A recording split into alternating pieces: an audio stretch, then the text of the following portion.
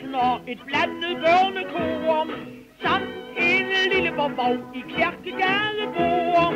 På en hyggelig knast med pip og sære fløjt. Den er god, kan de tro, og humøret er morderlig højt.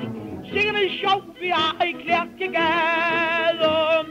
Loftet i dagligstuen har en skade. Hullet er dejligt stort, og der er ingen prop. I regnevand, jeg vasker op. Børnene kan på gulvet gå og vade. Mig og min mand får gratis styrkende bade. Singende sjov, vi har i Klærkegade. Vores lille kvist er lykkens top. Vi vel, som jo vil ti i enden nu har fået, er en nobel café, det ved jeg altså godt. Men den mad, jeg serverer, kan ikke stinke min. Min kanin, den er min, og til den får vi stikkes spermin.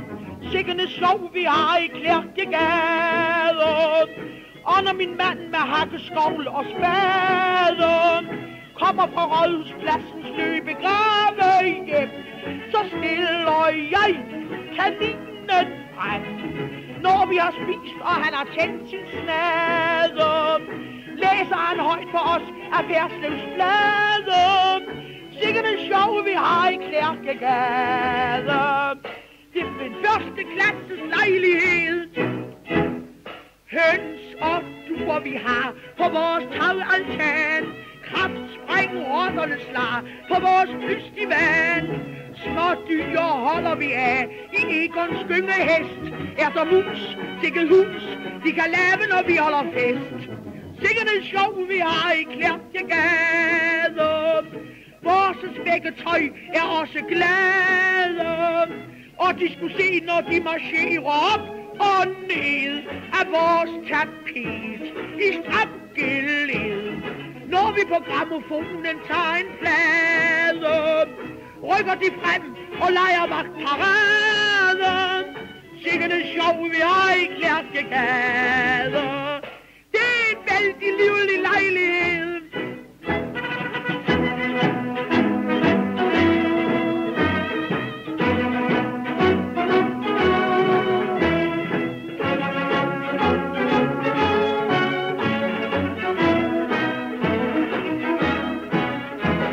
Når vi på gramofonen tager en plade, rykker de frem og leger